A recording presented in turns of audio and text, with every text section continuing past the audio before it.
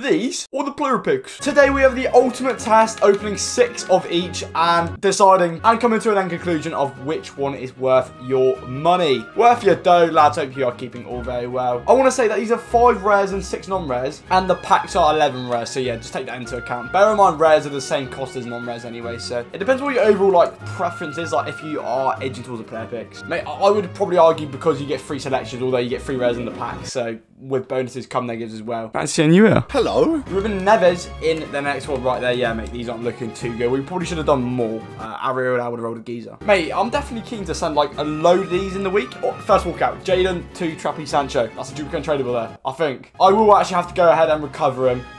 Um, we're going to get Eddie Cavani. That's what six got me. I have managed to chuck Jadon into a 83 times 5 Premier League specific pack. This does look pretty naughty to be fair, mate. We got five items. Yeah, I didn't have to spell out for you. Right, onto the packs. We're going to kickstart it with a Kyle Walker. Again, mate, I don't have to spell out for you. These are packs. Like, you can chuck all these non-rares back into the player picks and recycle, recycle, recycle. That would be more of a long-term process. Uh, but the second one we're going to see. Ed Anel's finest, Azpilicueta. Ronaldo, I don't know. Oh, right.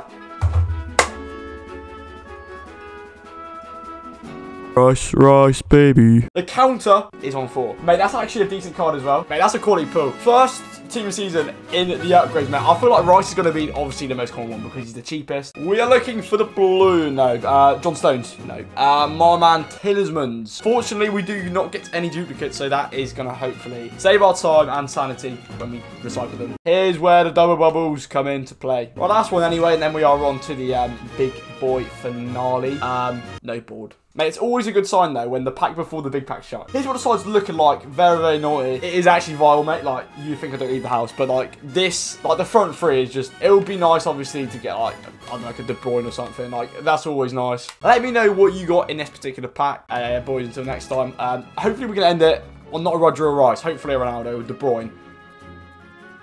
Oh, Eddie. Why Eddie? Oh, it's my what? Bean is fuming. Look at the sight of that. Right, lads. Take care. Uh, and I'll see you in the next one, boys, in a bit.